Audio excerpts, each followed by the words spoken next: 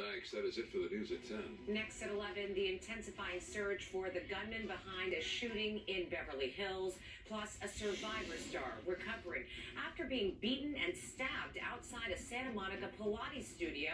The woman under arrest tonight. And new developments in the mystery of a missing Southern California mother. The husband now behind bars. Next at 11.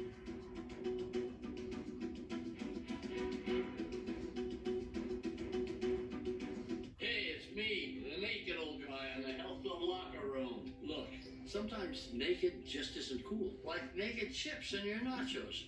Nobody wants to see that. New double loaded nachos, fully dressed with more natural goodness from El Pollo Loco. The California RV Show is at DDRV.com. Travel trailers, fifth wheels, gas and diesel motorhomes. All new models with show-stopping pricing. Reps on site to approve deals. The California RV Show at DDRV.com, where the 405 meets the 22 Westminster.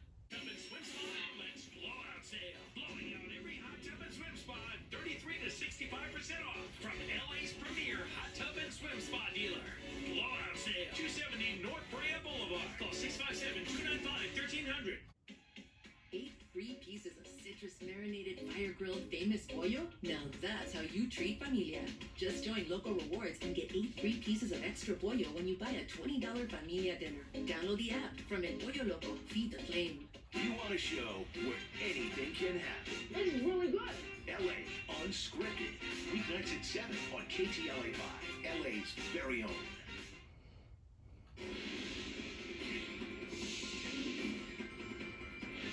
11, breaking news in Beverly Hills where a man is shot during what appears to have been an attempted robbery. Good evening, I'm Micah Ohlman. And I'm Cher Calvin. It happened outside the Via Alloro restaurant on Canon Drive. The victim rushed to the hospital. The suspect is at large. KTLA's John Fenoglio live at the scene with new information tonight. John.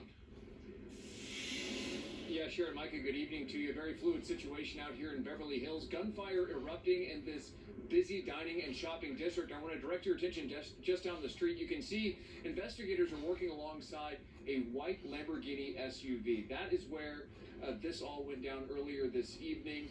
Uh, let's get you right to some of this video